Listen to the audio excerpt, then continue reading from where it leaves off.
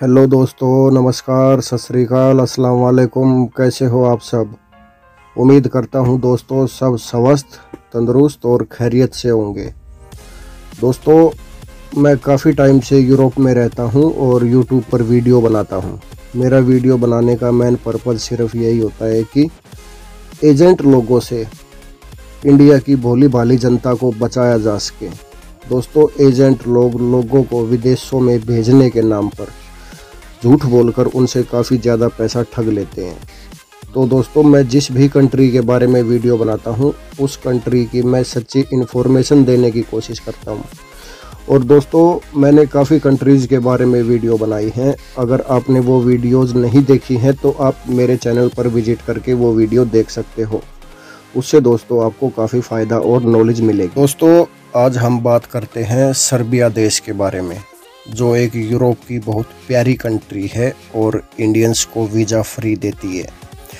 दोस्तों, अगर आप इंडिया से सर्बिया आना चाहते हैं तो आपके पास सबसे पहले इंडियन पासपोर्ट होना ज़रूरी है।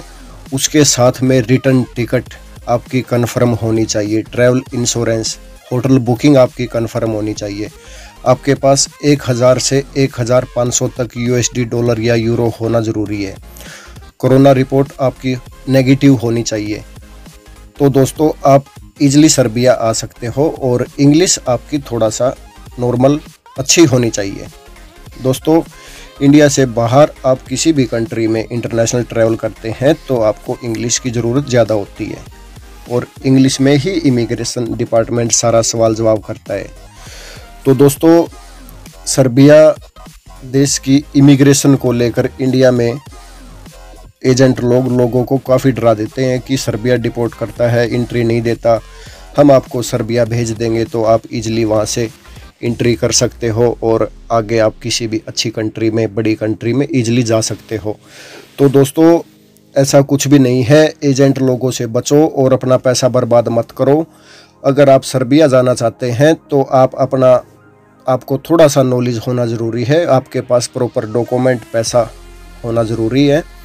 और आपकी रिटर्न टिकट फ़्लाइट कन्फर्म होना चाहिए, जिससे आप इमिग्रेशन ऑफिसर को ईजिली ये बता सको कि हम इस देश में घूमने के बाद आगे किसी और देश में जाएँगे। उस देश का आपके पास वीज़ा होना ज़रूरी है या आप सर्बिया से वापस इंडिया जाना चाहते हैं तो आपके पास इंडिया की कन्फर्म फ़्लाइट टिकट होनी चाहिए।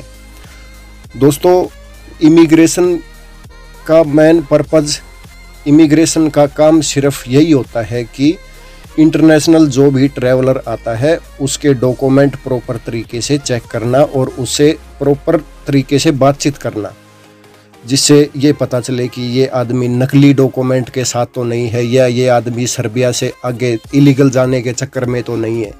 तो दोस्तों, इस प्रकार की बातें होती हैं। बाकी इमिग्रेशन बिल्कुल भी टाइट नहीं है, नॉर्मल है।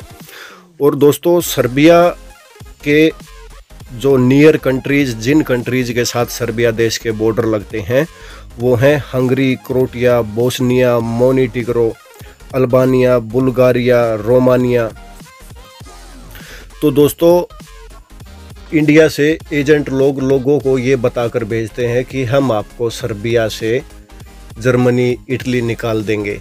वहाँ से हमारी अच्छी सेटिंग है। तो दोस्तों ऐसे लोगों की बातों में बिल्कुल मत फंसो, अपना पैसा बर्बाद बिल्कुल मत करो। सर्बिया की दोस्तों बॉर्डर सिक्योरिटी काफ़ी टाइट है। और उससे दोस्तों, आपका पैसा तो बर्बाद होगा ही, लेकिन आप सारी उम्र जेल में भी सड़ सकते हो। तो दोस्तों, आप प्रॉपर तरीके से अपने डॉक्यूमेंट कंप्लीट करके इंडिया से किसी भी कंट्री के नाम के लिए चलते हो तो आपको इजली एंट्री मिल जाती है। और दोस्तों, जल्दी सक्सेस मिलती है। दोस्तों एजेंट्स लोगों से बचो और अपना पैसा बर्बाद मत करो। दोस्तों, सर्बिया में एयरपोर्ट से आप अगर सिटी सेंटर के लिए टैक्सी बुक करते हो तो उससे आपका काफ़ी ज़्यादा पैसा बर्बाद होगा। तो दोस्तों एयरपोर्ट से सर्बिया सिटी सेंटर के लिए बस नंबर जाती है सेवेंटी टू जिसमें सर्बियन दिनार 150 लगता है। और दोस्तों, सर्बिया में टूरिस्ट पैलेसेस काफ़ी हैं, जहाँ पर आप अपना फैमिली फ्रेंड्स के साथ अच्छा इंजॉय कर सकते हो। सर्बिया एक दोस्तों अच्छी और सस्ती कंट्री है। दोस्तों, सर्बिया में सिम कार्ड एमटीएस और वन सिम कार्ड कंपनी ज़्यादा यूज़ होती है। और वो आप अपना एयरपोर्ट से भी खरीद सकते हो या आप बाज़ार से भी खरीद सकते हो।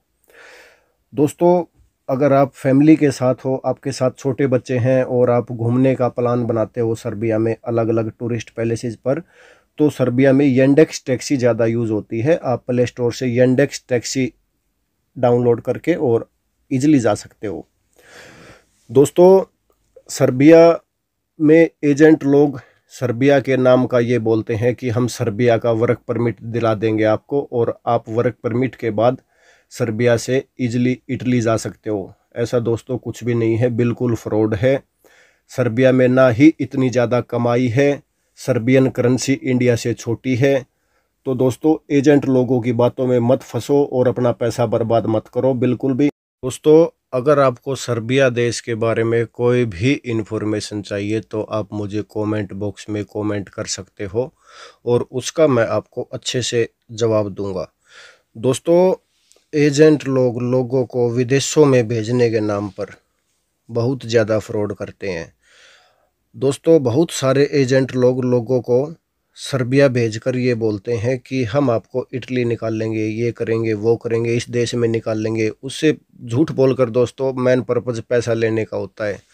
तो दोस्तों, ऐसे लोगों से बचो और सर्बिया, आप इजली बिना किसी एजेंट के अपने डॉक्यूमेंट कंप्लीट करके अकेले या फैमिली के साथ बिल्कुल इजीली आ सकते हो। दोस्तों, सारे वर्ल्ड में किसी भी आप इमिग्रेशन पर जाते हो तो सबसे पहले आपकी थिंकिंग पॉजिटिव होना ज़रूरी है। दोस्तों, आप अंदर से पॉजिटिव होगे तो आप इमिग्रेशन को भी अच्छे से जवाब दे सकते हो। और आप अगर इंडिया से ही नेगेटिव सोच कर चलते हो कि मेरे को एंट्री मिलेगी या नहीं मिलेगी तो दोस्तों आपको हंड्रेड वन परसेंट एंट्री नहीं मिलेगी। तो दोस्तों सबसे ज़रूरी होता है अगर आपके पास प्रॉपर डॉक्यूमेंट पैसा रिटर्न टिकट आपके पास कंप्लीट डॉक्यूमेंट है और आपकी इंग्लिश नॉर्मल है तो आप पॉजिटिव होकर दोस्तों किसी भी देश में जाओगे तो आपको कोई दे, देश वापस नहीं भेज सकता। तो दोस्तों ये थी आज की सर्बिया देश के बारे में एक सच्ची इन्फॉर्मेशन और दोस्तों सर्बिया, अगर आप काम करने के लिए आते हो, एजेंट लोग बोलते हैं कि हम आपको सर्बिया का वर्क परमिट दे रहे हैं और आप सर्बिया वर्क परमिट पर जाओ। बहुत सारी लोग यूट्यूब पर वीडियोस बना रहे हैं कि Serbia work permit is open. दोस्तों, ये बिल्कुल फ्रॉड है। सर्बिया देश उसी को वर्क परमिट देता है जिसके पास उस वर्क से रिलेटेड अच्छा स्किल है, अच्छे डॉक्यूमेंट है आपके पास, अच्छी डिग्री है। आपके, आप दोस्तों कोई भी काम जानते हो, उस काम से रिलेटेड आपके पास कंप्लीट डॉक्यूमेंट भी होना ज़रूरी है। तभी आप किसी देश में वर्क परमिट पर जा सकते हो। तो दोस्तों, एजेंट लोग लोगों को दिमाग को घुमा फिरा कर सिर्फ़ लूटने का सिस्टम बनाते हैं कि लोगों को किस प्रकार लूटा जा सके। दोस्तों, सर्बिया में ना ही तो इतना ज़्यादा काम है और इंडिया के हिसाब से 20 से पच्चीस हज़ार रुपये ही मंथली सैलरी मिलती है। तो दोस्तों, अपना ध्यान रखो, पैसा बर्बाद मत करो, एजेंट लोगों की बातों में मत फंसो और दोस्तों, सर्बिया देश के बारे में कोई भी इन्फॉर्मेशन चाहिए तो आप मुझे कमेंट कर सकते हो। दोस्तों, उम्मीद करता हूँ कि आपको वीडियो पसंद आई होगी। तो दोस्तों, वीडियो को लाइक करो शेयर करो और चैनल को प्लीज़ सब्सक्राइब करो।